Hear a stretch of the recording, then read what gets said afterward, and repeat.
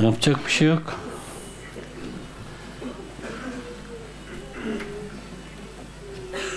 İnsanlar Müslüman değilse zorla Müslüman edecek değiliz. Allah hidayet eylesin inşallah. Zülkarin konusunda bizleri aydınlatır mısınız? Bahsedilen seyahatler zamanda mı yoksa mekanda mı gerçekleşmiştir? Zülkarin Hazreti Hızır olabilir mi? Müteşabih bir mesele. Bunu bu meselede doğrusu budur deyip de dayatmak, diretmek mümkün değil. Ama Allah peygamberlerini, veli dostlarını harikulade haller ile hallendirir. O yüzden e, zamanda mı, mekanda mı derken zaman da bir sonuçta mekan zamanın üzerinde yürür. Öyle olunca ister zamanda diyelim, ister mekanda arasında fazla bir fark olmaz. Semazen kıyafetlerinin renkli olmaktaki manası nedir? Herkesin kendince bir manası vardır. Herkes kendince de bir mana söylüyor. Sizin renkli gördüğünüz şeyi bir başkası renksiz dese ne diyeceksiniz? Sizin kırmızı gördüğünüzü birisi mavi dese ne diyeceksiniz? Sizin mavi gördüğünüzü birisi renksiz dese ne diyeceksiniz?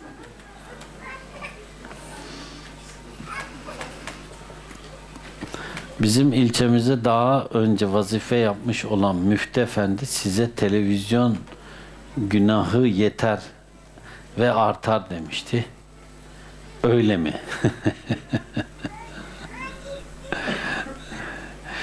Bir de kadının sesi erkeğe, erkeğin sesi de kadına haram mı? Allah razı olsun demiş. Allah iyi eylesin inşallah.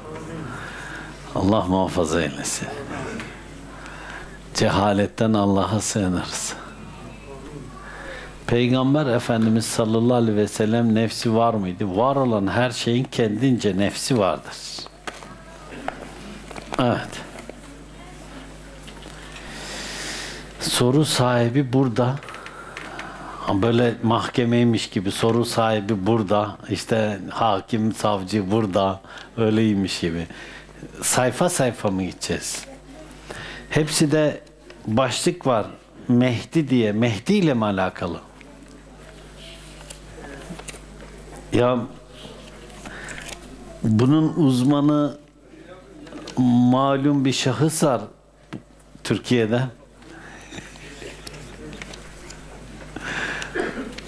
Bu meseleyle alakalı Evet.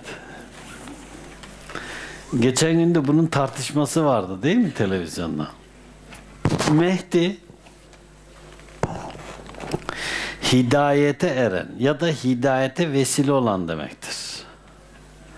Hemen her dinde beklenen kişi veya kişilerin isimleri değişse de her birinin ortak yönleri olduğu görülür. Beklenen kurtarıcı üç ilahi dinde diğer dinlere göre çok daha gelişmiştir. İslam kültüründe bazı kimselerce kurtarıcı Mesih değil, bununla beraber zulümle dolmuş dünyayı adaletle dolduracak bir Mehdi de beklenmektedir. Bu geri kalanda neler bahsedildiğini bilmediğimden ben adım adım gideyim. Evet her dinde Mehdi algısı ve anlayışı vardır. Ve her din müntesipleri kendilerince bir Mehdi beklerler. Bu Mehdi beklentisini Hazreti Peygamber sallallahu aleyhi ve sellem Hazretleri de teyit eder. Yalnız bunun zıtlamasına bir şey daha var. Hadis-i şerifte Peygamber sallallahu aleyhi ve sellem Hazretleri der ki Adem'den itibaren her peygamber kavmini Deccal'la korkutmuştur. Kavmine Deccal'ı anlatmıştır. Bakın her peygamber hadis-i şerifte bütün peygamberler kendi kavimlerini Deccal'la korkutmuşlardır. Cenab-ı Hakk'ın sünnetullahında şöyle bir şey vardır. Bir firavun var ise karşılığında Musa vardır. Musa varsa karşılığında Firavun vardır. Ebu Cehil varsa karşılığında Muhammed Mustafa vardır. Sallallahu aleyhi ve sellem. Her peygamber yolundan bir kavmin de karşılığında küfürle ayakta duran bir kavim vardır. Bu Adem'den itibaren Allah'ın sünnetullahıdır. Bütün peygamberler müşriklerle mücadele etmişlerdir. Bakın müşriklerle, dinsizlerle değil, ateistlerle değil, hiç din gelmemiş, din ulaşmamış kimselerle değil. Burayı dikkatinizi çekerim. İnanmıyor. Gerçekten o inanmıyorsa ona din tebliğ edildiğinde o inanır hale gelir. Müşrik ise kafasında kendince inanç saplantıları olan kendince inanç oluşturmuş kimsedir. Bunun içerisine ekonomik etkenler, kültürel etkenler, sülalevi etkenler, devlet etkenleri, siyasi, askeri, politik bütün etkenler oluşur müşriklikte. Bütün müşrik düşünce ve sistemler bütün halis ima, imanı anlatan peygamberler ve peygamberlerin yolunda gidenlerle mücadele etmişlerdir. Hiç inanmayan bir kimse benim inancıma gel demez. Benim istediğin gibi inanacaksın da demez. Sizin önünüze bir inanç da koymaz. O hiç inanmıyordur. Ben bazen sohbetlerde derim ya gerçekten ateistse gelsin. Görüşelim. Ateistse görüşelim. Gerçekten dinsizse görüşelim. Ben hiçbir dine inanmıyorum diyorsa görüşelim onunla. Asıl sıkıntı inanıyorum diyenlerle alakalı çünkü. Onun kafasında ya kendisinin dogmatik oluşturduğu bir din var ya da birilerinin dogmatik oluşturduğu bir din var. Onun kafasındaki dini yıkmak zor. İşte bütün peygamberler, bütün peygamberler müşriklerle mücadele etmişlerdir. Dinsizlerle değil. Bütün peygamberlerin savaşları müşriklerledir. Dinsizlerle değil. Bakın Hazreti Peygamber sallallahu aleyhi ve sellem hazretlerinin savaşlarına müşriktir hepsi de. Çünkü müşrikler kendilerince kendi dinlerini ve inanışlarını dayatırlar karşıya.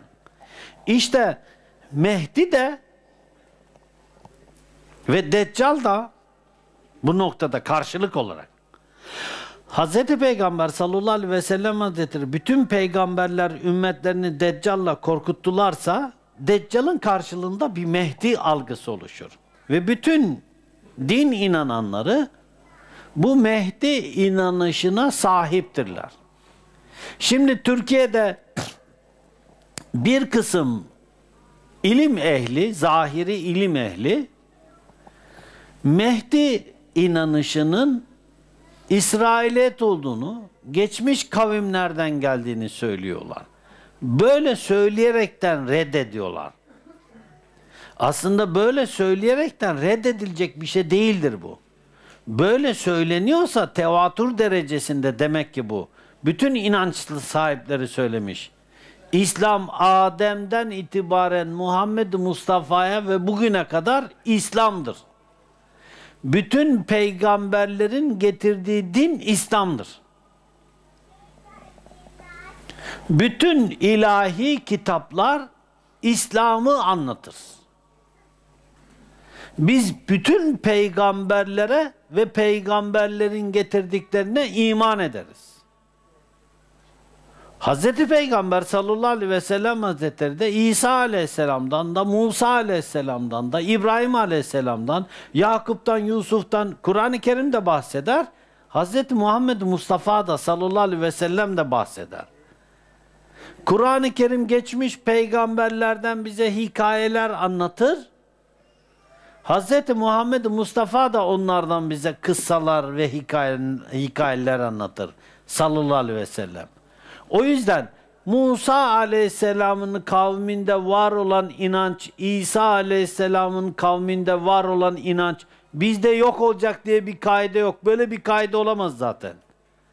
Aslında var olması bütün inancın bütünlüğünden işarettir. Hem bir taraftan siz bütün insanları İslam'a davet edeceksiniz. Hem bir taraftan da diyeceksiniz ki son din İslam dini. Hem de bir taraftan diyeceksiniz ki Museviler de bu şekilde inanıyor. Bunu reddederiz. İseviler de böyle inanıyorlar. Reddederiz. Bu nasıl bir algı ki? Musevilerin Allah'ı aynı Allah değil mi? İsevilerin Allah'ı aynı Allah değil mi? İbrahimilerin Allah'ı aynı Allah değil mi? İbrahim Aleyhisselam'ın inandığı Allah ile Musa Aleyhisselam'ın inandığı Allah ile İsa Aleyhisselam'ın inandığı Allah ile Hz. Muhammed Mustafa'nın sallallahu aleyhi ve sellem Hazretleri'nin inandığı Allah arasında bir fark mı var? İbrahim Aleyhisselam'a indirilen kitap hak da Musa Aleyhisselam'a indirilen kitap hak değil mi? İsa Aleyhisselam'a indirilen kitap hak değil mi? Tahrif edilmiş. Eyvallah. Ama onlardaki inanç Kur'an ve sünnete uygunsa neden reddedelim? Hani biz bütün peygamberlere ve bütün peygamberlerin getirdiklerine iman etmiştik?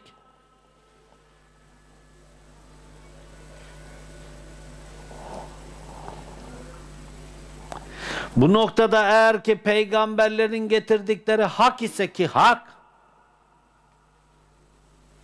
neden reddedelim? Mehdi inanışı da bütün dinlerin ve peygamberlerin kabul ettiği bir inanıştır. Bu geçmiş peygamberlerin ve dinlerin kabul ettiği bir inanış, o yüzden bunu reddederiz diyebilir miyiz? Namazla alakalı geçmiş ümmetlere farz kılındığı gibi size de farz kılındı ayet-i kerimesini inkar edin hadi. Oruçla alakalı geçmiş ümmetlere farz kılındığı gibi size de farz kılındı. İnkar edin hadi. Geçmiş ümmetlerden gelme deyin buna. Veyahut da geçmiş ümmetlere İbrahim'den itibaren hac farz kılındığı gibi size de farz kılındı. Hadi bu İbrahim'i bir ibadet, İbrahim'den sonra olan ibadet o yüzden yapmıyoruz mu diyeceğiz? İslam Adem'den itibaren kadim bir dindir. Kadim bir dindir. Ve bütün peygamberlerin getirdikleri, söyledikleri İslam'dır. Mehdi meselesine bu gözle bakarsak geçmiş peygamberler bunu böyle söyledilerse ve kavimlerini bununla bunun bunu anlattılarsa Hz. Muhammed Mustafa da sallallahu aleyhi ve sellem hazretleri de bunu anlatması ve bunu söylemesi kadar doğal bir şey değildir. Bundan daha doğal başka bir şey bulamazsınız. Ama sırf sırf karşı olmak için karşılar. Karşı olmak için. Ya bu işte İsrailiyat. Bu normalde işte geçmiş ya inanışlardan gelme bir şey. İyi. Yani o zaman Kur'an'ın bize beyan ettiği biz Lut kavminin helakını kabul etmeyeceğiz mi? Hud kavminin helakını kabul etmeyeceğiz mi? Salih Aleyhisselam'ın kavminin başına gelenleri kabul etmeyeceğiz mi? Geçmiş peygamberlerin ve geçmiş ümmetlerin hal ve hareketlerini, tavır ve davranışlarını Kur'an bize naklederken biz bunları red mi edeceğiz? Bunlar geçmiş ümmetlere mi ait diyeceğiz? İslam Adem'den itibaren bir bütündür. Bu bütünlüğün içerisinde hak olan her şeyi kabul ederiz. Reddetmeyiz. Hazreti Peygamber sallallahu aleyhi ve sellem Hazretleri İsa aleyhisselamın, Musa aleyhisselam, Yahya'nın, Yakup'un hikayelerini anlatıyor. Kaldı ki bu emirle var. Diyor ki geçmiş peygamberlerin hallerini anlat. Onları an. Onları zikret. E Mehdi meselesi de bunlardan birisi. O yüzden reddetmek çok affedersiniz görmemek, cehalet. Kur'an-ı Kerim'de bu düşünceye delalet edecek muhkem bir ayet bulunmamakla birlikte düşüncenin hadis literatüründe yer aldığı görülür. En önemli hadis kaynaklarından Buhari ve Müslüm'de Mehdi kelimesinin geçtiği bir hadisin bulunmaması da önemlidir. Evet, açık sarih bir ayet-i kerime bu konuda yok. Ama bu konuda bazı ayetler var ki işte bununla alakalı özel bir çalışma yapılırsa eğer getiririm o ayet-i kerimeleri böyle bir ayet-i kerimelerden mana çıkarmışlar. Eski tefsir uleması. Ama bununla alakalı mesela işte yeryüzünün manevi direkleri vardır. Nasıl dağlar böyle direkleri varsa manevi direkleri vardır diye. Bununla alakalı yani ayet-i kerimelerle zorlama açısından bunu bir kısmı zorlama olarak görebilir. Eyvallah. Açık bir ayet yok bunda.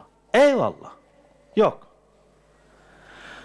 Ama hadisler var mı? Var. Buhari ve Müslim'de bu noktada adı Mehdi olarak yok. Ama Buhari ve Müslim'de Mehdi'nin bütün özelliklerini anlatan hadis-i şerif mevcut. Ama adı Mehdi değil. Sadece Buhari Müslim'de. İşin en ilginç tarafı şu. Buna karşı gelenler yani buna karşı gelenler laf sırası gelince İmam Buhari'yi en büyük yalancı olarak görüyorlar. Bırak zaten İslam'da fitneye o çıkardı. Buhari'den bize bahsetme. Tavırları da bu.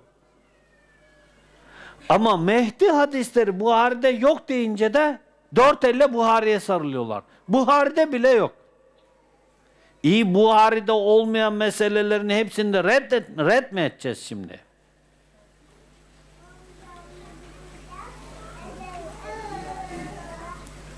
Buhari Müslim almadıysa isim olarak red mi edeceğiz? Mana olarak bu hadisler var mı? Buhari Müslim'de var. Mehdi yok. Doğru.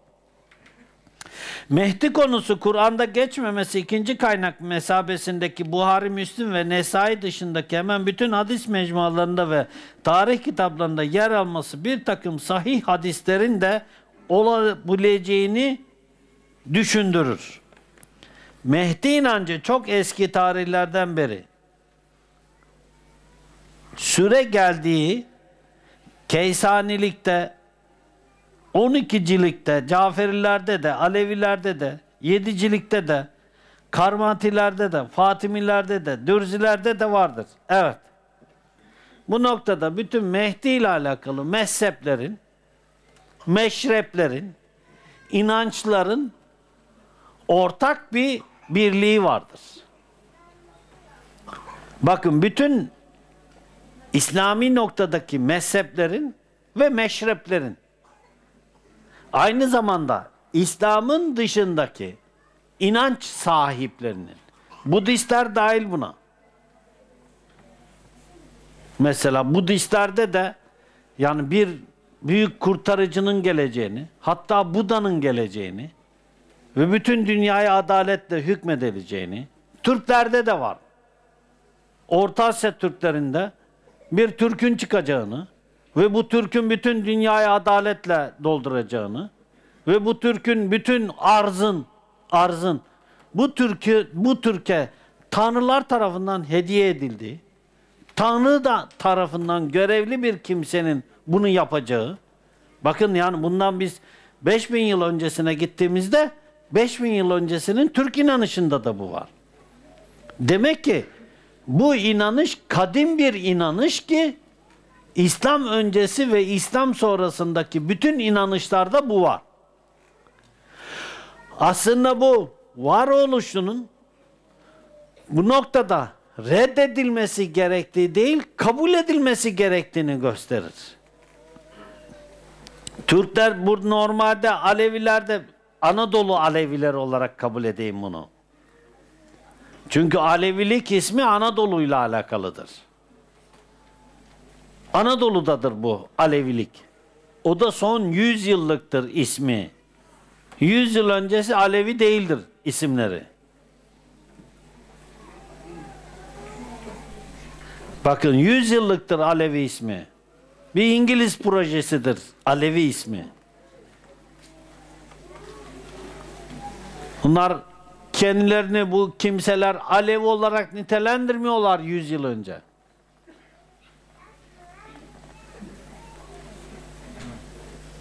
Hiçbir tane 150 yıl öncesinin bir tane yazılı eseri yoktur Alevi olduklarına dair.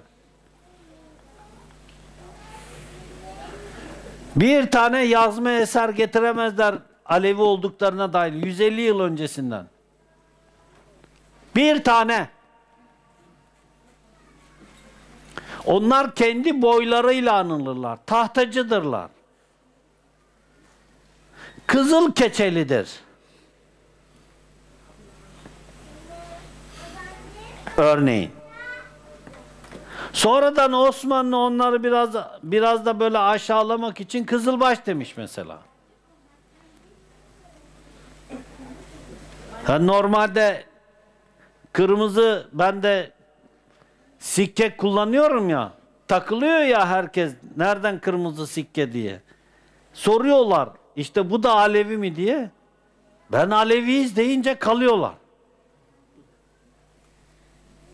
Sanki Hazreti Ali radıyallahu an hazretleri birilerinin tekelinde.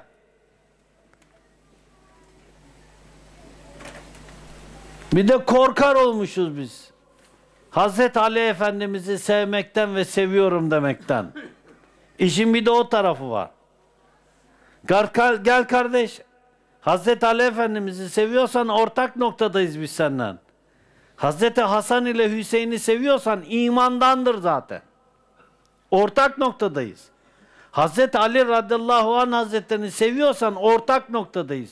İmandandır. Hiçbir sıkıntımız yok.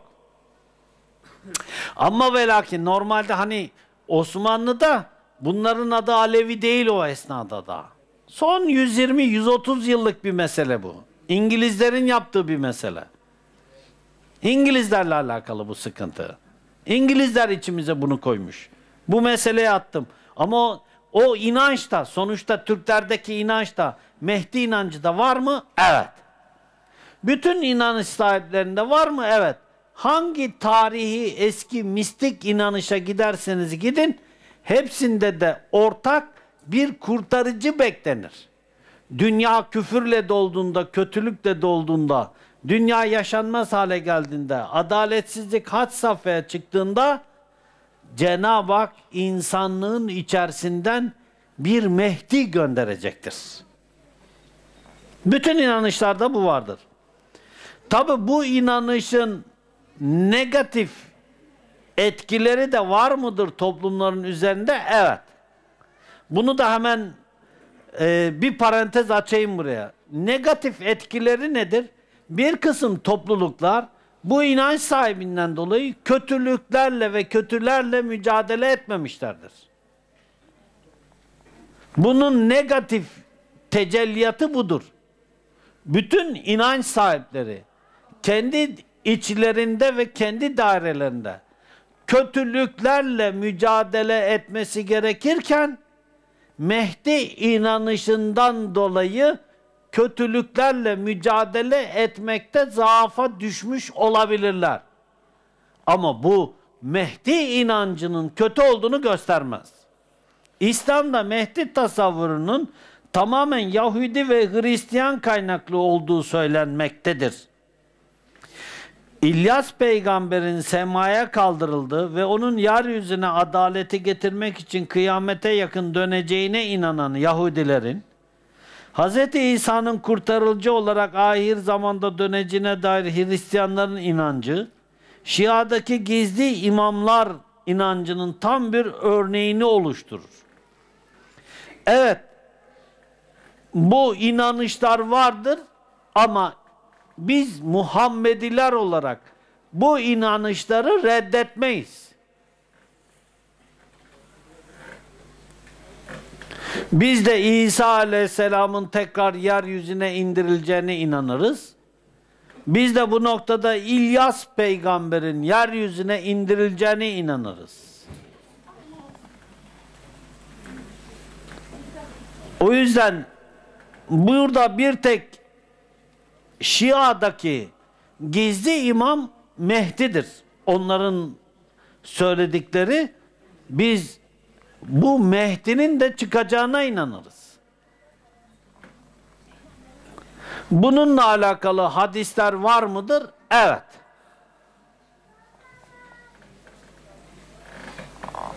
Bu hadisleri reddeden var diye biz de reddedeceğiz, kabul etmeyeceğiz diye bir kaide yok. Bakın bu hadisler var mı? Evet. Birisi var.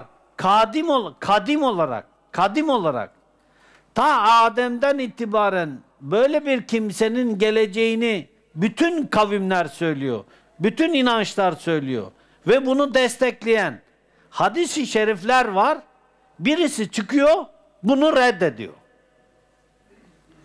Biz reddedeni alkışlıyoruz. Yani bütün kadim inançlarını ve bütün toplumun inancını, inancını reddeden kimseye alkışlıyoruz. Ve burada bir kapı daha aralıyorlar. Araladıkları kapı şu. Hadis-i şerifleri reddediyorlar. Mehdi meselesini reddetmiyorlar. Aslında gerçekte hadisleri reddediyorlar. Eğer Mehdi meselesindeki hadislerin sahih olmadığını inanır, buradan bir kapı aralarsak, o kapıdan bütün herkes geçecek. Hadislerin, hadislerin sahih olmadığına dair ilmi bir çalışma yok. Zaten bu bu hadislerin sahih olmadığına dair şu anda ilmi bir çalışma yapabilecek güç, bilgi, güç, bilgi ve zamanla alakalı sıkıntıları var. Sebep yani zaten yazılanlar belli. Yazılı eserler de belli. 1400 yıl sonra bu yazılanların üzerinden herhangi bir fikir yürütmeniz mümkün mü? Çok zor. Muhakkak nereye doğru gideceksiniz? 400'lerde, 500'lerde, 300'lerde yazılan eserlere gideceksiniz. E zaten 300'lerde, 400'lerde, 500'lerde yazılan eserlere gittiğinizde hadis kritercileri oturmuşlar bunları limen lime etmişler hadisleri kriter hadisleri bu noktada elekten geçirmişler.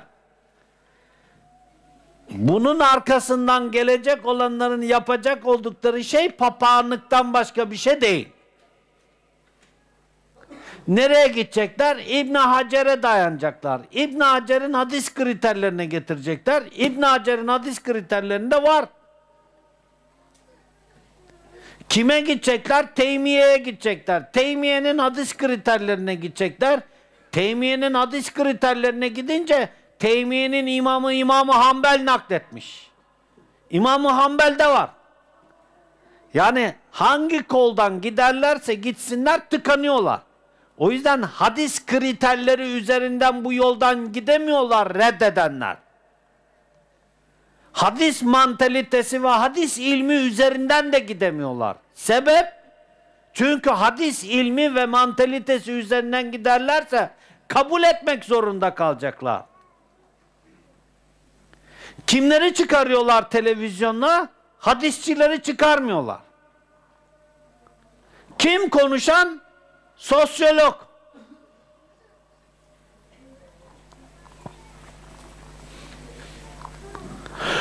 Beş tane hadis profesörünü çıkarsın veya üç tane hadis profesörü çıkarsın medreseden yetişme karşılığına da üç tane medrese hadisçisi çıkarsın. Çıkaramaz.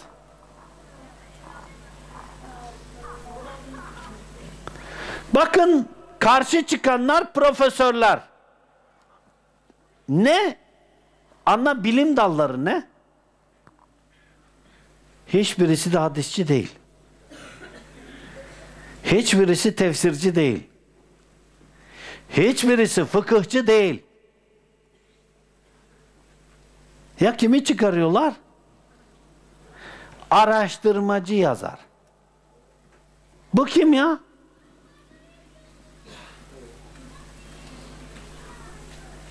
Bu kim kardeş? Kimse sormuyor ki. Kim konuşan? Edebiyatçı. Kardeş şiir mi konuşuyoruz ya? Hikaye mi konuşuyoruz? Masal mı konuşuyoruz? Ne konuşuyoruz? Hadis. Hadis konuşuyoruz. Ne konuşacağız? Kur'an-ı Kerim'de böyle bir bu manaya gelen ayet-i kerime var mı yok mu? Tefsirciler oturup konuşacak. Sebebi nüzüllerini indirecekler. Hazreti Resulullah sallallahu aleyhi ve sellem Hazretleri bu ayeti kerimenin arkasından ne söyledi? Bunlara bakacaklar. Ben İslam'la haşır neşir olalı işte 29 yıl oldu. 29 yıldan beri bir tane Ela Düz'ün aklı başında bir kimselerin çıkıp da bu meseleyi ilmi bir düzlem üzerinde tartıştığını görmedim. Nerede alakasız insanlar var? Onları konu. Zaten en acı tarafı da bu ya. En acı tarafı bu Türkiye'de. Söz konusu olan hadis. Dört tane hadis alimi çıkar. Söz konusu olan fıkıh. Dört tane fıkıhçı çıkar. Söz konusu olan ne? Dinler tarihi. Otur dört tane dinler tarihinden adam çıkar. Eyvallah. Geçen günkü de tartışmaya baktım. Bir tane e, Mahmud Efendi'nin talebesi bir alim bir kimse öyle yazıyordu. Müderris diye yazıyordu. Birisi Adnan'ın doktoru ne onun adı? Oktar'ın adamı yok. Ne? Oktar Babuna mı? Ne o ne onun adı? Lan Adnan Oktar'ın isim değiştirmiş o zaman mahkeme kararıyla o.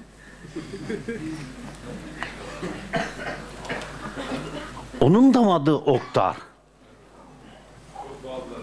Bundan bir ilahi hikmet çıkarmışlardır onlar. Ne o? O da babuna bir tarafta. Türkiye'nin DNA'larını Amerika'ya peşkeş çeken insanlar bunlar.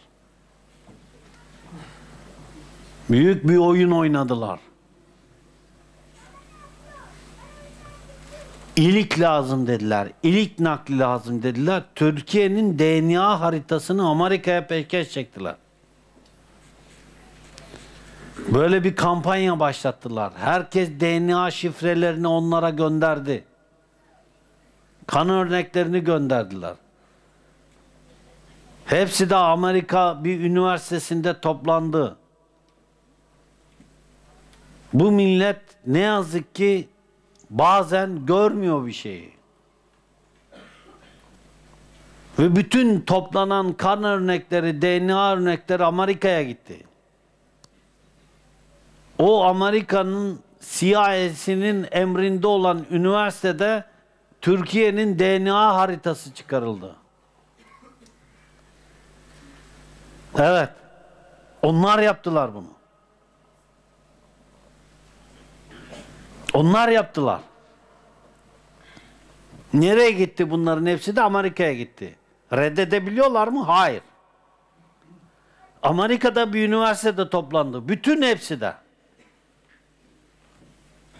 Ve bir ülkenin DNA haritasını çıkardılar. Bunu parayla yapmaya kalksalardı milyon dolarlar giderdi.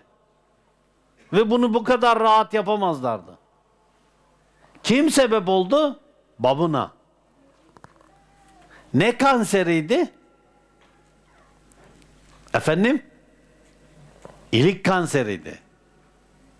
Hiç bunca yıl ilik kanserinden yaşayan bir kimse gördünüz mü? İlik nakli oldu mu? Hayır. Bununla alakalı bir tedavi gördü mü? Hayır. Var mı raporlarda tedavi gördüğüne dair? Yok. Parantezi kapattım.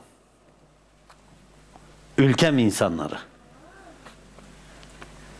Kim Mehdi ile alakalı konuşacak bir kimse bu. İşin ilginç tarafı da zaten bu. İşin ilginç tarafı da bu. E karşılığında kim var? Sosyolog. Yanında bir tane ilahiyatçı vardı İstanbul İlahiyat'tan. O da Bediüzzaman Said Nursi Hazretleri'nin talebesi. Her şeyinden belli. Tam Bediüzzaman Hazretleri'nin Mehdi ile alakalı risalelerinde geçen sözleri söyledi. Çevir sayfayı yaptı. Nereden? Risalelerden. Karşılığında bir hadisçi var mı orada? Yok.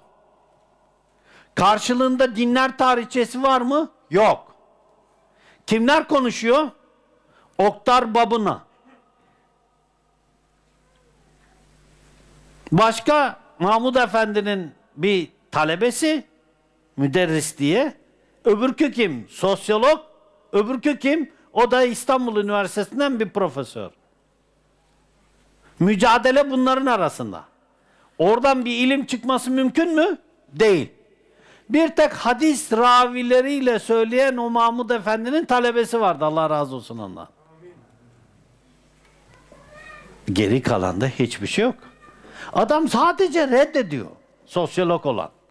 İlim koymuyor ortaya. Evet. O yüzden normaldeki bu bütün inançlarda var.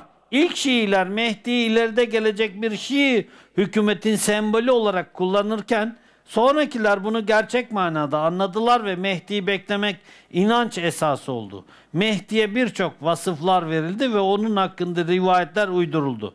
Evet Şia'da bu iş biraz tefrit noktasına gitti. Gerçekten o kadar çok Şia bunun üzerinde durdu ki Şia da şimdi Mehdi'nin geleceğine inanmamak bugünkü Şia için küfür.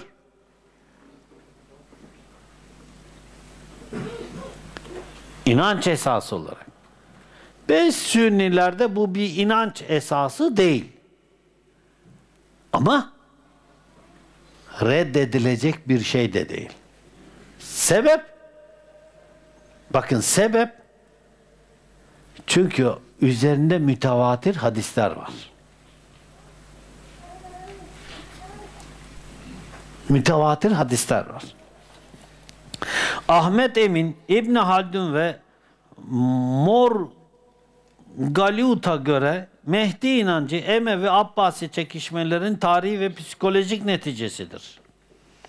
Yani sonuçta bunları böyle söyleyenler var ama Emevi Abbasilerden önce de bu inanışa sahip kimseler varsa bu İslam dininin içerisinde sadece Emevi Abbasi çekişmesi olarak nitelendirilemez. Ehli sünnette Mehdilik bir inanç esası olarak kabul edilmiş değildir. İlk akaid kitaplarında Mehdi meselesinden bahsedilmez. İmam-ı Azam'ın El Fıkıh Ekberinde Maturidi ve Eşari'nin eserlerinde de bu husustan bahsedilmez. Kelam alimleri Mehdili imametle ilgili bir mesele kabul etmişlerdir. Bunun yanında Bakillani, Cüveyni, El-İci, Nesefi, Mehdi isimli bir kurtarıcıdan bahsetmez. Gazal de Mehdi'den bahsetmez. Hadis konusunda hassasiyetinizi biliyoruz. Ama sanki yine ümmetim 73 fırkaya ayrılacak hadislerindeki gibi açmaza düştük. Gelelim mutasavvıflara. Mutasavvıflara gelmezden önce burada bir açmaz yok. Yani sonuçta her ne kadar bunu kelam alimleri, akaidçiler kendilerince bu imani bir esas olarak almamışlar, almalarına da gerek yok zaten. Bakın almamışlar, almalarına da gerek yok. Çünkü Mehdi meselesi bir inanç meselesi değil. Bunun bir inanç meselesi olabilmesi için Kur'an'da açık bir ayet olması gerekir. Bilhassa Hanefiler yani İmam-ı Azam Hazretleri Kur'an'da açık veyahut da bu noktada hmm, Kur'an'ın direkt işaret ettiği bir şeyi inanç meselelerinin içine alır. O yüzden İmam-ı Azam olsun, İmam Maturidi olsun, sonradan gelen Nesefi, sonradan gelen Sabuni, bunun bir inanç meselesi olarak almaz. Ve Hanefiler, Sünni kesimin büyük bir çoğunluğu, buna e, Şafii, Maliki, Hanbeliler de dahil, bu meseleyi bir inanç meselesi olarak almamışlar. İnanç meselesi olarak almadıklarından dolayı bunun üzerinde çok tartışma yapmayı da gerek görmemişler. Bu konuda hadisler var mı? Var. Bu hadisleri reddetmemişler. Böyle bir kimse gelecek mi? Er cevap gelecek. Bunun üzerinde çok böyle itinayla durmamışlar. Bunun üzerinde fazla durulacak bir mesele olarak görmemişler bunu. Görmemeleri doğru mu? Evet. Sohbetleri takip eden etrafımızda eş, dost ve arkadaşlarımız da bilirler ki ben bu meselenin üzerine fazla takılmam. Böyle bir hadisler var mı? Var. Geleceğine inanıyor musunuz? Evet der çıkarım işin içinden. Bunu illaki bir saplantı ve takıntı haline alınmasını da istemem. Bizim yol yürüdüğümüz kardeşler bu manada bir Mehdi gelecek, bir kurtarıcı gelecek deyip de yan yatıp yan gelip yatmayacaklar. Mehdi'nin geleceğine inananlar böyle bir şey gelecekse şimdiden onun geliş pozisyonunu, geliş zeminini oluştursunlar o zaman.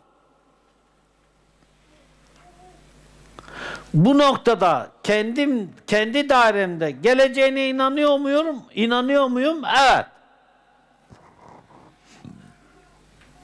Evet. Bunu kardeşlerin içinden rüyalarında görenler var mı? Evet. Hallerinde görenler var mı? Evet. Kalplerine ilham olarak gelenler var mı? Evet. Bu konuda kendimce ve kardeşler adında manevi olarak bir şüphemiz var mı? Yok. Ama bu insanların Kur'an ve sünneti yaşama ve yaşatma mücadelesini vermekten geriye atmasın insanları. Durduğumuz nokta bu. Gelelim mutasavvuflara. İlk mutasavvuflar bu konulardan geri durmuşlardır. Bir kısmı Mehdi konusunu tamamıyla Şia paralelinde izah eder. Ancak Sufiler soru Mehdi yerine kutup anlayışı getirdiler. Sufilere göre alemdeki bütün işleri çekip çeviren kutuptur. Sizce? Şahat Muhammed Hasan sayfa 174 İbn Haldun sayfa 2. cilt 269. Normalde evet Mehdi yerine kutbu koymuyorum. Sizce dedi direkt bana soruyor değil mi?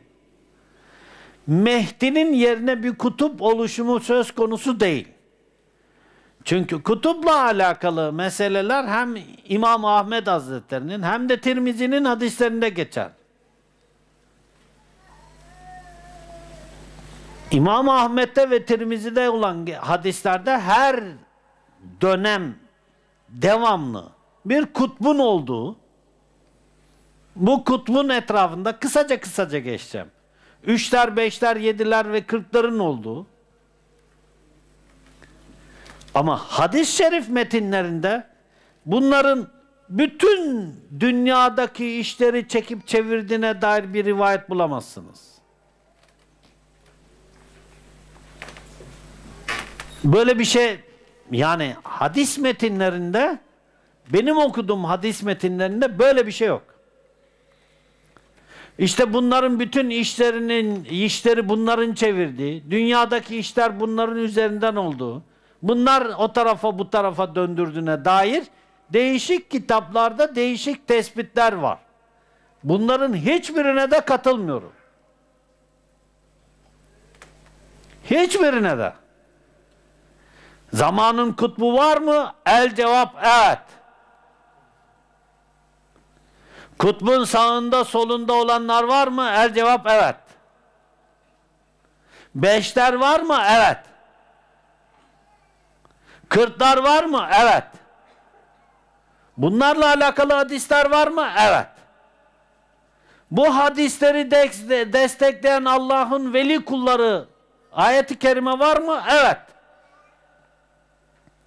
Bunu destekleyen Allah'ın yeryüzünde direkleri vardır. Evet. Ama bunların vazifeleri dinin yaşanması için mücadele etmektir. Dini aya, dinin ayakta durmasını, ayakta durmasını, dinin yaşanmasını Cenab-ı Hak bunların üzerinden mücadele ettirir. Evet. Yok işte çiçekler onların yüzü hürmetine aşacakmış da yok işte bütün dünyadaki işler bunlara aitmiş de bunlara katılıyor muyum? Hayır. Allah'ın veli kulları var mı? Evet. Ayet var mı? Evet. Hadis-i şerif var mı? Evet.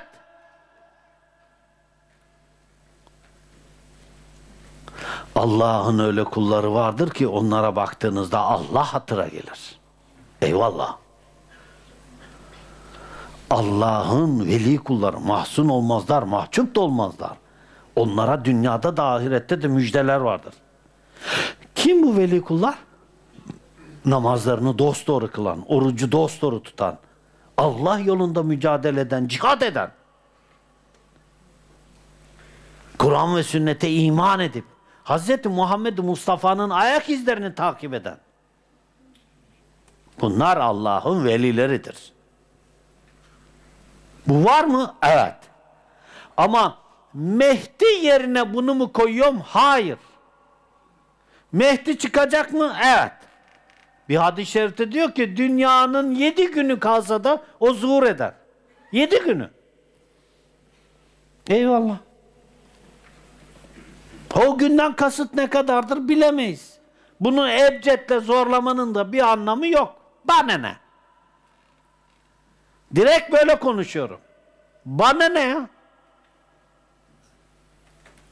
Beni Mehdi mi kurtaracak?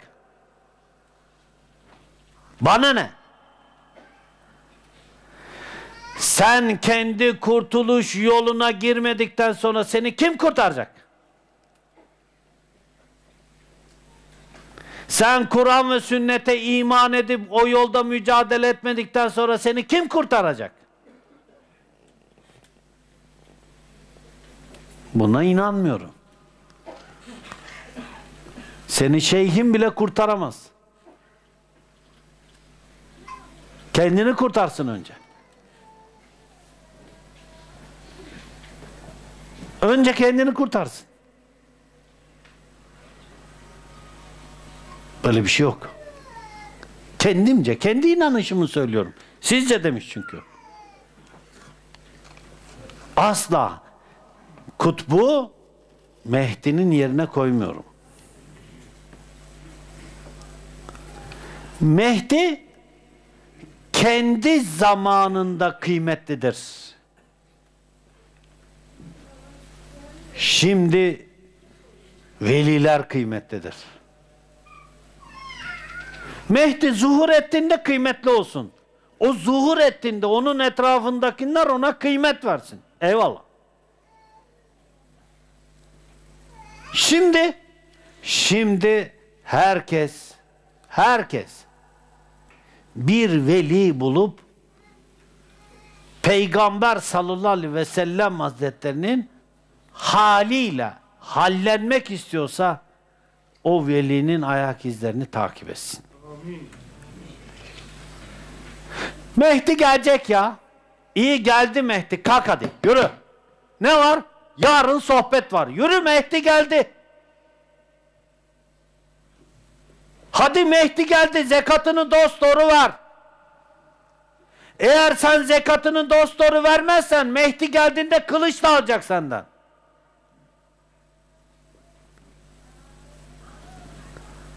Hadi Mehdi geldi dost doğru iman edip mücadele et.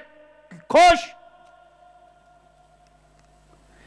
Şimdi dolabındaki yiyecekleri paylaştıramıyorsan, şimdi dolabındaki giyecekleri paylaştıramıyorsan, şimdi kasandaki parayı paylaştıramıyorsan, şimdi rahatından vazgeçemiyorsan,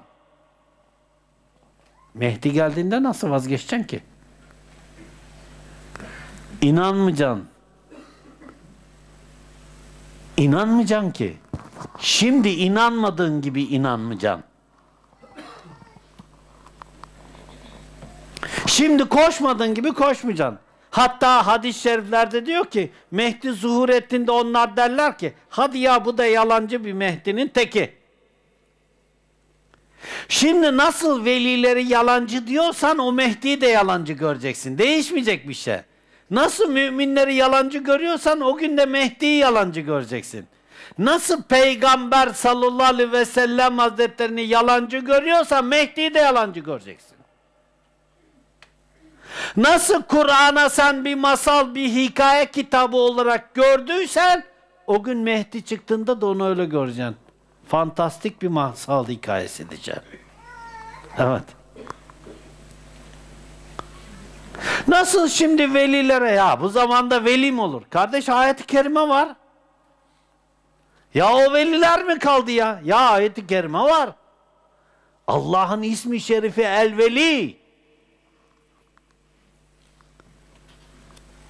el-veli. El-veli ismi şerifi.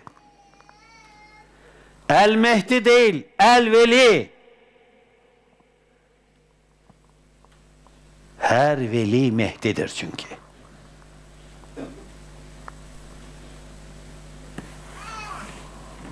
Her peygamber velidir aynı zamanda. Her peygamber velidir. Her veli de Mehdi'dir. Her veli Mehdi'dir. Sen kendi döneminin velisini, Mehdi'sini bul. Tabi 50 yıl sonra gelecek olana tabi olmak kolay. Ölen veliye de tabi olmak kolay. Ölmüş ya mübarek ne mübarekti ne mübarekti. Öyle mübarek çıkmadı. E biz hala da onun dervişiyiz. Maşallah. O oradan tasarruf ediyor da. Bizim ehli tasavvufun vartaya düştüğü yerler. Ne güzel ya. Oradan tasarruf ediyor demek. Evet. E ondan önceki şeyhin oradan tasarruf etme selahati yok muydu? Bakıyor işinin gözümün içine. Kardeş, ondan öncekinin tasarrufu yok muydu? Ondan öncekinin tasarrufu yok muydu? Sıralıyorum. Abdülkadir Geylani Hazretleri'nin tasarrufu yetmedi mi? Şimdi Abdülkadir Geylani Hazretleri deyince duruyor şimdi. Kardeş, Abdülkadir Geylani'den önce ne yapacaksın? Beyazlı Bestami'nin yetmedi mi? Maruf-i Kerhi'nin yetmedi mi? Geriye doğru git daha. Hasan ile Hüseyin'inki yetmedi mi? Babaları Hazreti Ali Efendimizin yetmedi mi? Kalıyor arkadaş. Ama ölü şeyhe bağlanmak en güzel şey. Neden? Yani derse gitmek yok, şunu yaptın yok, bunu ettin yok, seni gördü mü görmedi mi önemli değil. Sen derste miydin, değil miydin? Bakacak kimse yok. Ama ne mübarekti ama şey efendi ya. Bir görecektin sen onu. Nasıl yani? Ya Yok bu zamanda öyle bir şey. Bunu kimlerden dinledim ben biliyor musunuz? Çorumlu Hacı Mustafa Efendi'den kalan dervişlerden. Bu sözlerin hepsi de onların sözü. Evet. Ya Mustafa Efendi bir başkaydı ya yani. Allah Allah. Abdullah Efendi var. Ya işte yani işte ya işte ım, ım, iyi bir abi ama ım,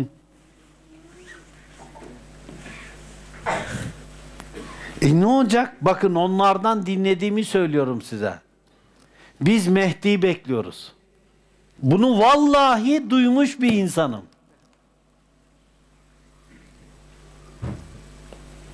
Abdullah Efendi'ye biat etmemek için Mehdi'yi bekliyoruz diyorlardı bana. Nasıl yani? Ya Mehdi zuhur edecek zaten. E, e Mehdi zuhur edince zaten gerek kalmayacak. Yani Mehdi'yi bekliyoruz. Bu Mehdi bekleyenler tembel, yobaz, kalpleri çalışmayan, akılları çalışmayan, dini çalışmalara güç yetiremeyen, dini çalışmalara koşturmak için kuvvet yetiremeyen, zavallı, hımbıl, işe yaramaz, miskin adamlar. Bunlar evlerinde Mehdi bekliyor.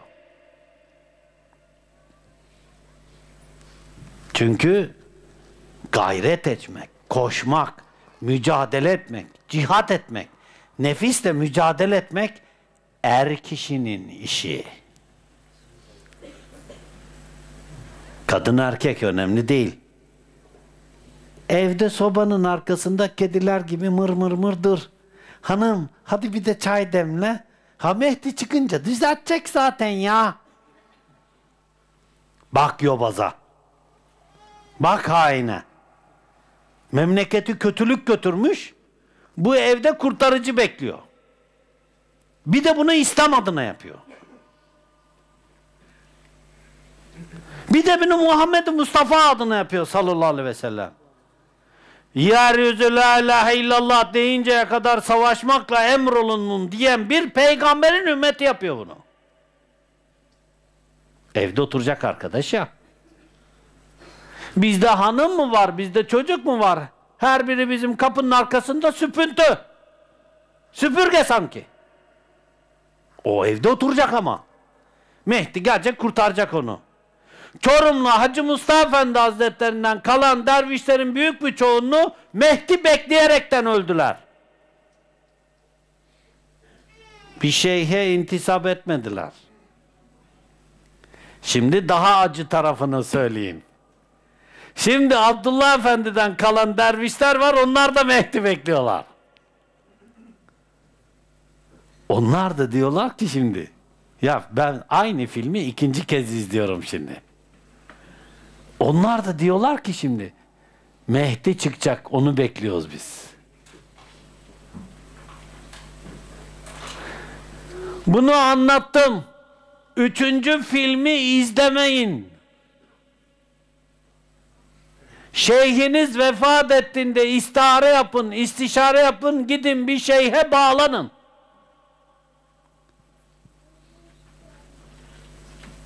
Rüyasında göremeyen istişareyle gitsin bir şeyhe bağlansın. Rüyasında göremeyen dahi. İstişare etsin, gitsin, sorsun, soruştursun. Bu adamın Kur'an ve sünnet aykırı bir şeysi var mı? Şusu var mı? Busu var mı? Şeyhi var mıydı? Bunun vardı. Bunun şeyhi kimdi? Filancadı. Bunun şeyhi kimdi? Filancadı. Bunun şeyhi kimdi? Filancadı. Ders veriyor mu millete veriyor? Git ders alından. İntisap et.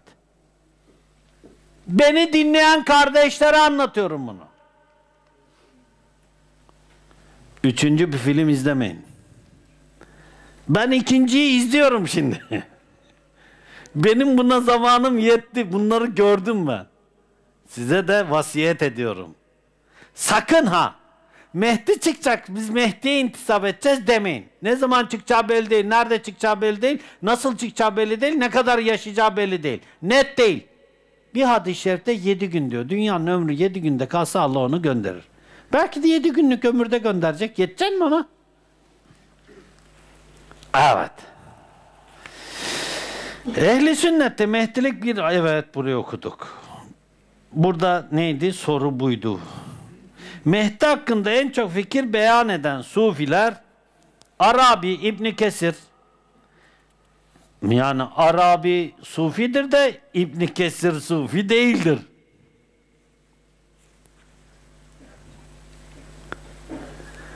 Arabi ehli sufidir. İbn Kesir ise sufi değildir. Sufilere savaş açmıştır. Teymiye'nin talebesidir.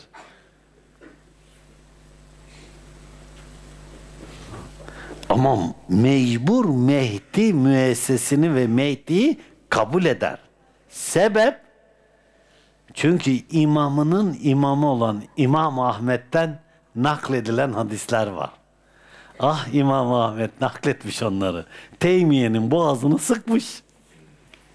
Kımıldanamamış. Hatta meşhurdur ya bu velilerle alakalı Yusuf Yusuf suresindeki bu Yunus muydu Yusuf muydu?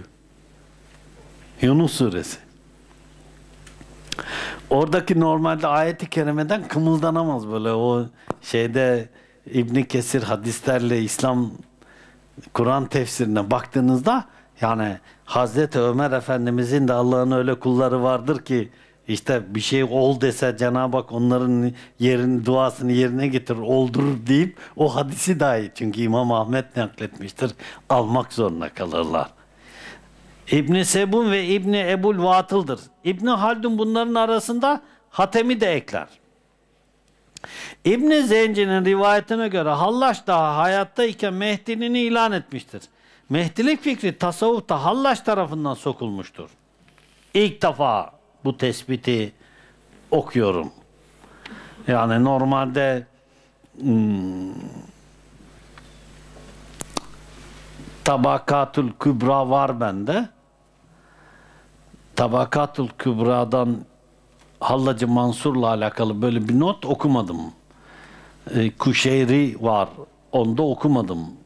Ya da karşılaşmadım bilmiyorum. E, yani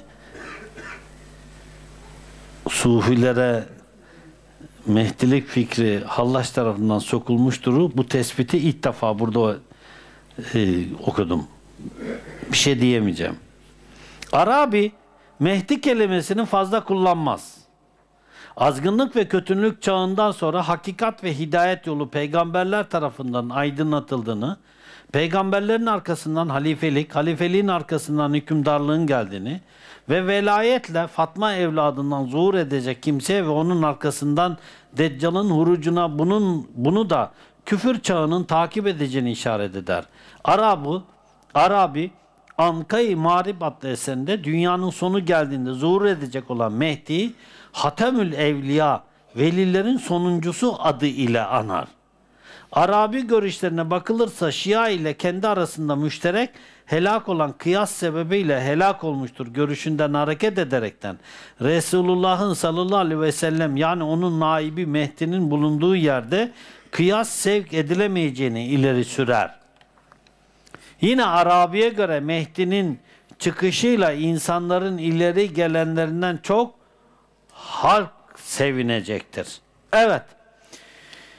Arabi'den bu meseleye bakılacak olursa Arabi Mehdi'nin zuhurunun gerçek olduğunu, hak olduğunu ama aynı zamanda da Mehdi denilen o kimsenin zamanın son kutbu olduğunu, zamanın son kutbu olduktan sonra çünkü normalde bir hadisi kutsi var. Kutup vefat edince yerine yeni bir kutup tayin edilmeyince kıyamet o zaman kopar diye. Bu hadis-i şerife Arabi kendince ölçü göstererekten hem Mehdi ve son kutbu tek bir noktada birleştirir ve onunla, onun vefatından sonra da kıyametin kopacağını söyler. Yine Arabi'ye göre Mehdi'nin çıkışı evet halk sevinecektir. Doğru. İbn Haldun Mehdi'nin çıkacağı sene, seneye dair bilgi de verir.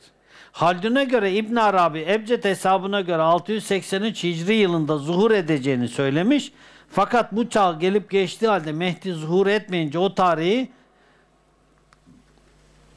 doğum yılına hamd ederekten 710 Hicri'de zuhur edeceğini, 20, 26 yaşında doğacağını ileri sürmüştür.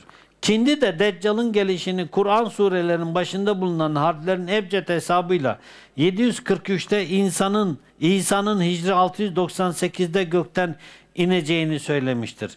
İbn Haldun İbn Haldun Hançerlioğlu Orhan Felsefe 4. cilt sayfa 115. Bunların hiçbirisine de katılmıyorum. Mehdi'nin zuhuruyla alakalı tarih verenlerin hiçbirinin de tarihine katılmıyorum. Bir derviş kardeş de halinde, rüyasında bunu görse ona da katılmam. Bu hakka sahibim. Din olarak. Bakın tekrar söylüyorum. Din olarak buna katılmama hakkına sahibim bugüne kadar söylenmiş olan tarihlerin hiçbirisine de katılmadım.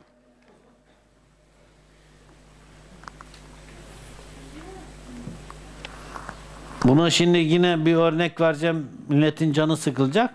Şeyhim de tarih verirdi. Şeyh Efendi hatta rüyasını anlatırdı. Mehdi doğmuş kucağına vermişler. Bana sorarlardı rüyası hak derdim. Tabi yaşadığı dönem içerisinde Mehdi zuhur etmedi. Dediler ne düşünüyorsun?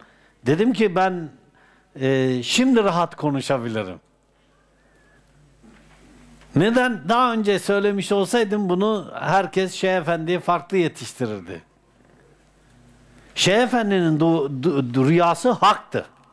Bütün veliler ona benzer bir rüya görürler. Mehdi onun kucağında çocuk gibidir. Hepsi de Mehdi görürler. Mehdi ile sarmaşırlar. Çocuksa gözlerinden öperler, alnından öperler. Büyükse sarmaşırlar. Kimisi genç delikanlı gibi görür, kimi 40 yaşlarında görür. Kimisine yaşıyorum der. Doğrudur. Rüyaların hepsi de haktır. Halinde görürler, haktır. İbrahim aleyhisselam oğlu İsmail'i kurban ederken gördü. Rüyası hak mıydı? Evet. Ve rüyasını normalde tevil etmeden rüyasında gördüğü şeyi tecelli ettirmek için yürüdü mü? Evet. Hak mıydı? Evet. Ama rüyanın hakikati bir koç kurban etmekmiş. Öyle değil mi? Bunun hakikatini biz sonradan hem İbrahim Aleyhisselam gördü hem biz gördük. Evet, Mehdi'yi kucağında görmek doğrudur, haktır. Onu gözünden öpmek doğrudur, haktır. Onu görmek doğrudur, haktır. Ama tevili farklıdır. Tevili ancak rüyanın ve halin konumuna göre ve tevil edecek olan kimsenin rüya ilmine göre değişir. Şimdi de buradan şunu çıkarmayın. Şeyh Efendi de bu rüya ilmi yok muydu demeyin. O zaman da şunu derim size. İbrahim Aleyhisselam'da yok muydu?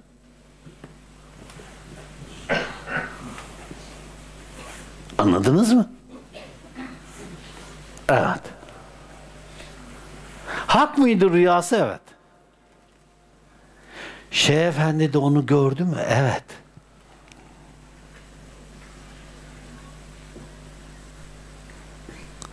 Yaşadığını gördü mü? Evet.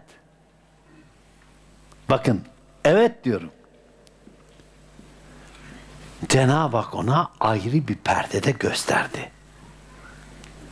O da yaşadığına inandı mı? Evet.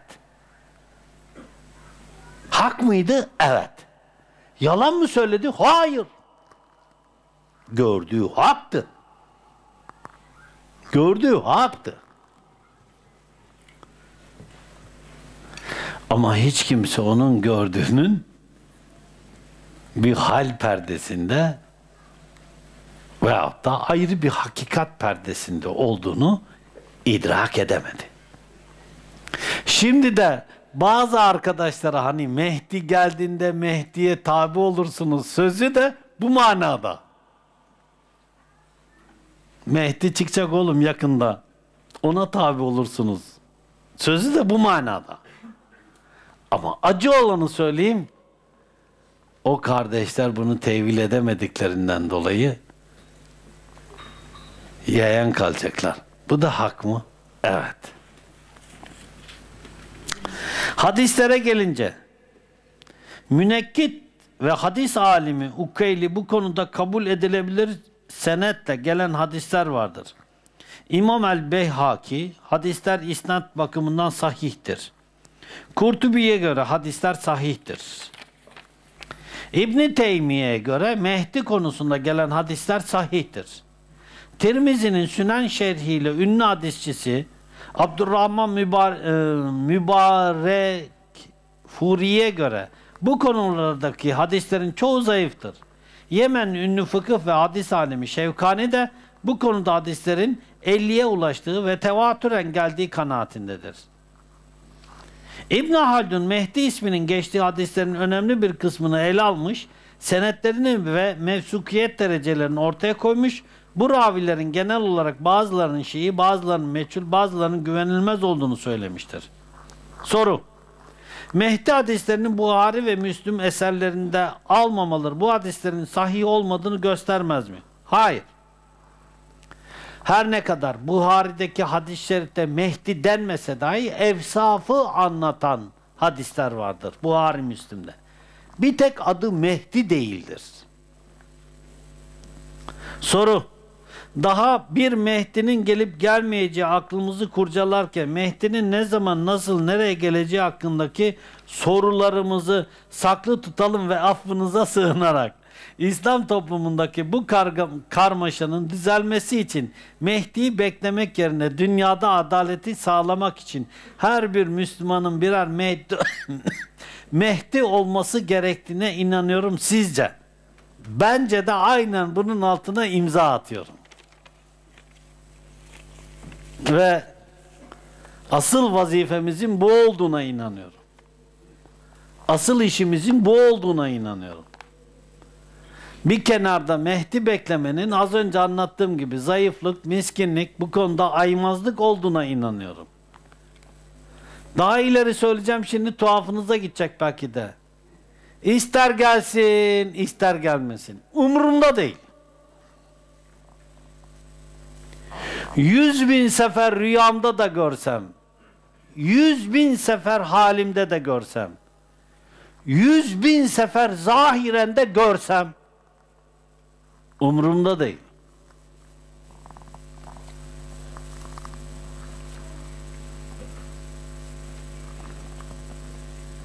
Yüz bin sefer semaya gelse, yüz bin sefer dese ki buradayım, vallaha da umurumda değil, billaha da umurumda değil.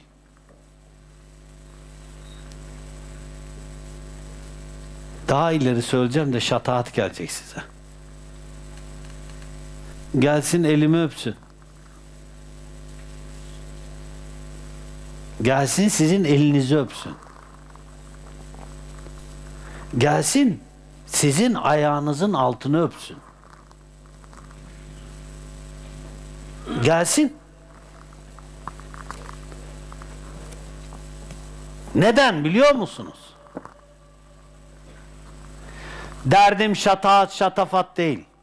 Büyüklenmek değil derdim. Bunu söylerken büyüklenmek değil.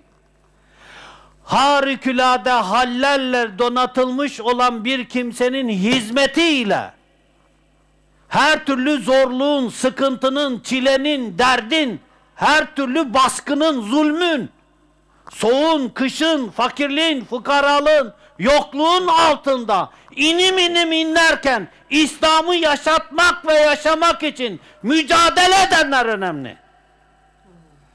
Onun için diyorum Gelsin sizin ayağınızın altını öpsün diye. Evet. Onun için diyorum gelsin sizin elinizi öpsün. Bir parmak çıtlatıp da ağaçtan ve meyve verme kerametiyle Müslüman olacaksan olma.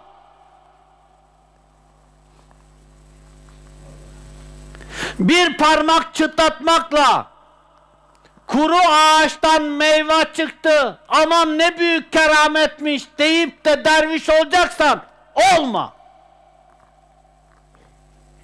Bu yüzden dedim.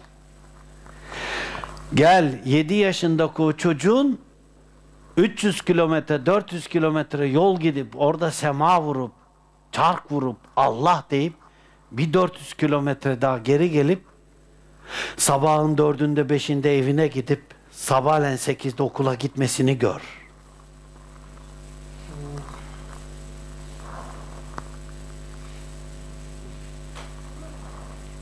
Gel. Ekmek arası köfteyle 10 saat, 15 saat hizmet edeceğim diye giden 13 yaşındaki çocuğu gör. Hey! Hazreti Muhammed Mustafa'nın başını okşadığı bir kimse Mehdi ne yapacak? Kim ki Mehdi? Onun yanında. Kim ki Muhammed Mustafa'nın yanında? Mehdi kim?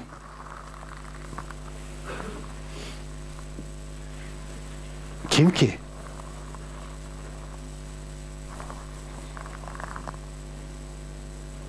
Gelsin bizim çocukların ellerinden öpsün. Desin ki kış değil, kıyamet değil, yaz değil, buz değil. Para yok, pul yok, karşılığında ücret yok. Sizler Allah'ın dinini ayakta tutmak için var gücünüzle mücadele ediyorsunuz. Desin. Evet. Parmak çıtlatmakla ben de yaparım yapacağımı. O yüzden önemsemiyorum. O yüzden önemsemiyorum. O yüzden gülüp geçiyorum.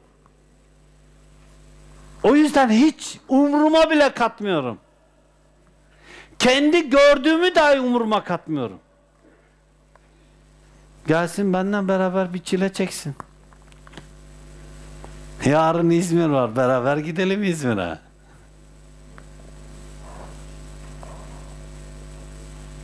Gelsin.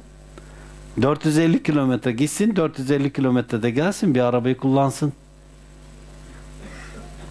Buzda bir kaydırsın arabayı, bir dört döndürsün. Benim öyle bir parmak çıtlatıp da arabanın kendiliğinden gitmiyor benimki. Ne o? Bir de şu.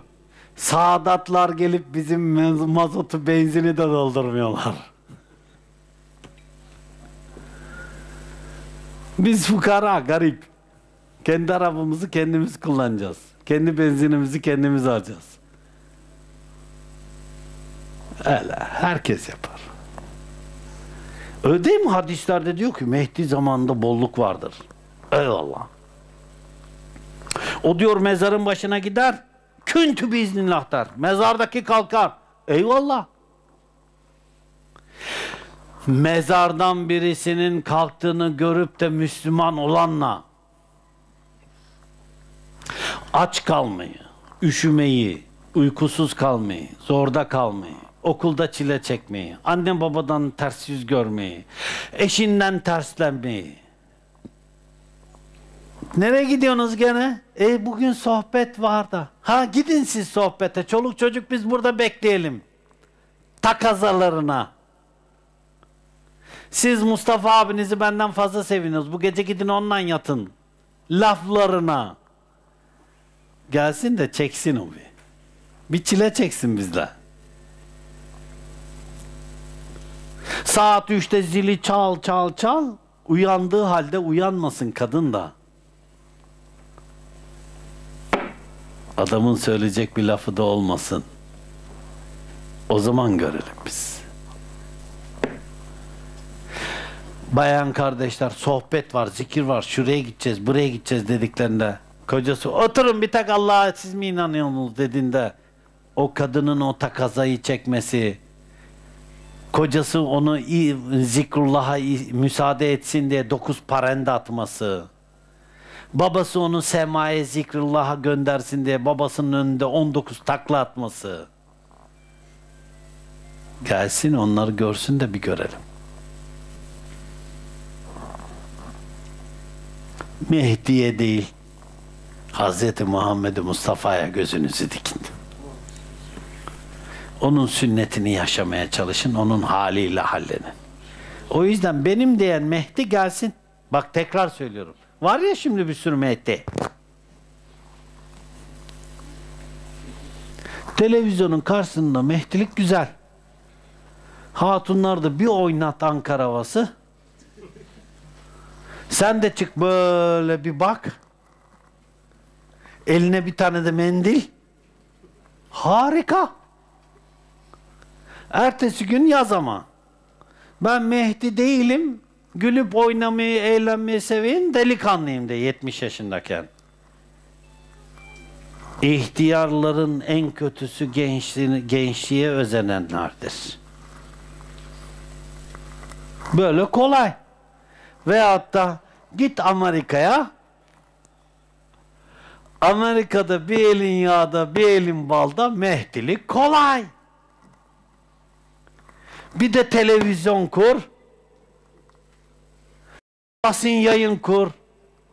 Vallahi aklım ermiyor bu parayı nereden buluyorlar. Milletin ne güzel sevenleri var. Hiç olmayacaksınız siz. Yok. Yok. Andırıyorum andırıyorum desem yalan olur. Yok tık yok gene. Televizyonu kur, çık televizyonun karşısına, mehdilik kolay. Bas parayı, bastır parayı, mehdilik kolay. Bir kanal da değil, birkaç kanal. Ertesi gün peygamber olarak zaten zuhur ediyor. Diyor ki biz nebiyiz. Ne? Nebiyiz. Lan Mehdi'ydin daha Mehdiliği sindiremedik biz. Ardından Nebi dedi. Ardından değilim dedi. Ardından bir daha Nebi oldu. Böyle kolay. Olmadı. Bu dünya Hazreti Muhammed'i, bu alem Hazreti Muhammed'i Mustafa yüzü suyu hürmetine yaratıldı. Benim yüzü suyu, yüzü suyu hürmetime yaşatılıyor de. Kolay. Kolay. Benim meşhur bir sözüm var. Ben dergaha yeni girdim böyle aşkım, heyecanım yerinde. Kılı kırk yarıyoruz biz. Şimdi bunları konuşmak istemiyorum ama konuşayım. Bir gün şey efendiye dedim efendim ben helak oldum. Ne oldu Mustafa efendi dedi. Efendim dedim peygamber sallallahu aleyhi ve sellem hazretleri dedi. Her daim görürdüm. Bu ara dedim göremiyorum. Allah Allah dedi. Oğlum baktın mı bir haram işledin mi hiç dedi. Efendim dedim tövbe üzerine tövbe indiriyorum. Kafayı kıracağım dedim. Kıracağım dedim kafayı. Dedim yok. Dedim her rabıtamda göremiyorum şu anda dedim her daim. Allah Allah yaptı. Yolda gidiyoruz. Mustafa Efendi dedi.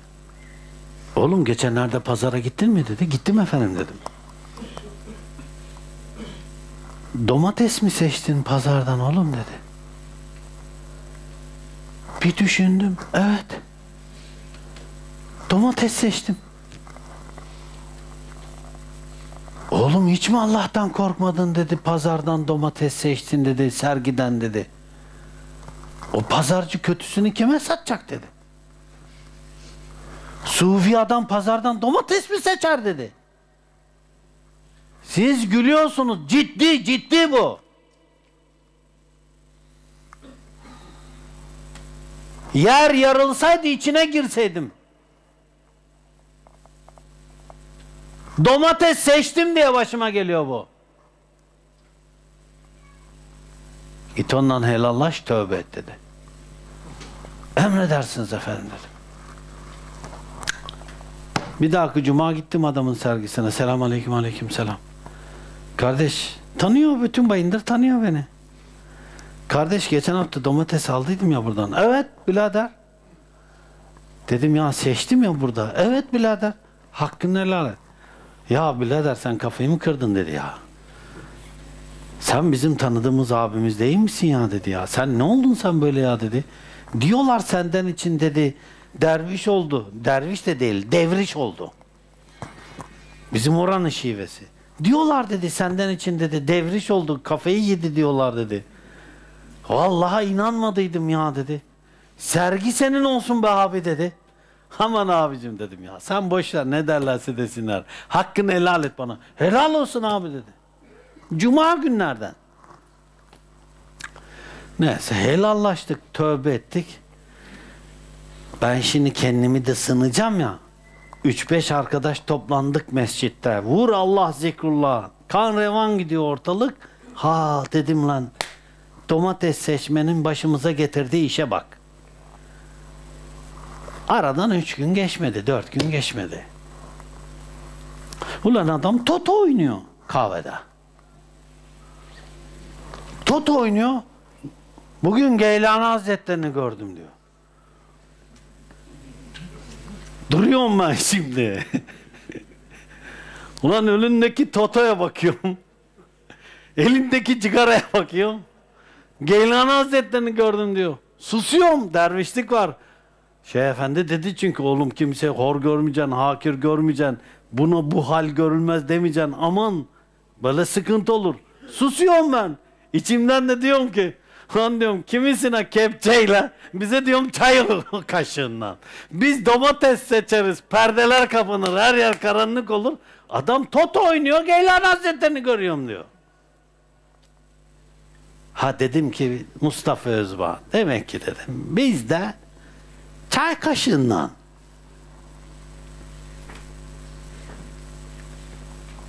Bir şey daha son. Nikahım nikah. Fıkıhı biliyorum. Evlendim. Nikahım nikah. Durdum yerde Şeyh Efendi zakirliğimi aldı benim. Hiç sormadım. Tabii aldı aldı. Aradan bir müddet geçti. Nevşehir'e gittik dönüyoruz. Döneceğimiz zaman zakirli tekrar orada Nevşehir'de geri verdi. Başkaları soruyor. Ben de yan yana otobüste geliyoruz şimdi biz. Oradan başka birisi soruyor. Zakirli alınan adamın akrabaları, arkadaşın akrabaları soruyor. Efendim, Mustafa Efendi'nin zakirliği neden alındı? Neden verdiniz? Şeyh Efendi bir böyle lafı yuvarlamak istedi, olmadı. O arkadaş da bir köyün çavuşu. Tekrar sordu. Şeyh Efendi'nin söylediği şey şu. Evladım, Mustafa Efendi nikah esnasında mehrini konuşmayı unutmuş.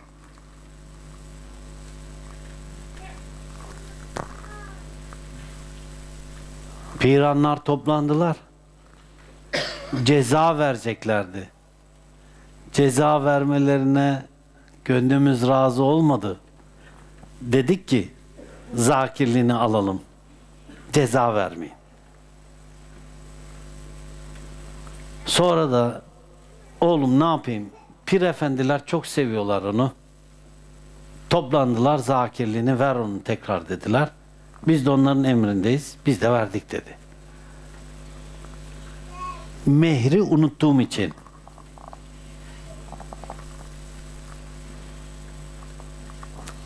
Bir şey anladınız mı? Siz dininizi yaşayın. Öyle hatun oynatmakla Mehdi olunmuyor. Anladınız mı? Görseniz Mehdi'yi burada kapının önünde deyin ki Kur'an ve sünneti yaşama ve yaşatmak için emrolunduk. Mehdi beklemek için değil. Güzel bir konuydu. Belki de uzun müddet parça parça sorulan soruların hemen hemen hepsine bir cevap olmuş oldu. Allah razı olsun soruyu hazırlayandan. Bu noktada da gerçekten ümmet Muhammed'in içerisinde pimi çekilmiş patlamaya hazır bomba gibi. Çalışmaya, gayret etmeye, mücadele etmeye güç yetiremeyenlerin saklandıkları bir yer Allah muhafaza eylesin. Erkeklerin doğumhaneye girip doğum esnasında eşlerinin yanında bulunması konusunda ne düşünüyorsunuz? Psikolojik açıdan ve cinsel yönden etkilenen etkilenirler mi? Bunu sünnet-i Resulullah'ta yok. Hazreti Peygamber sallallahu aleyhi ve sellem Hazretleri doğum esnasında hiçbir eşinin başına gitmemiş. Bu meseleye sufice bakılacaksa bunu hadis-i şeriften örneklerim. Şimdi böyle yeni yeni modalar çıktı böyle şeyler. Ondan sonra doğumda başında beklemek gibi. Doğumda başında beklemek erkeklik değil. O çocuk doğduğunda ateşlendiğinde sabaha kadar beklemek erkeklik.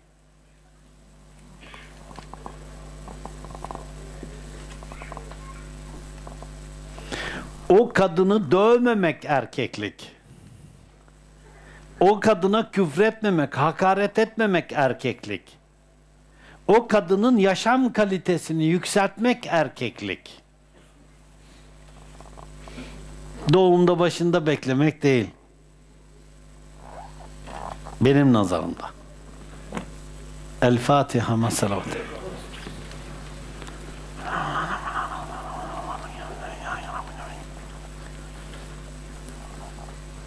Amin.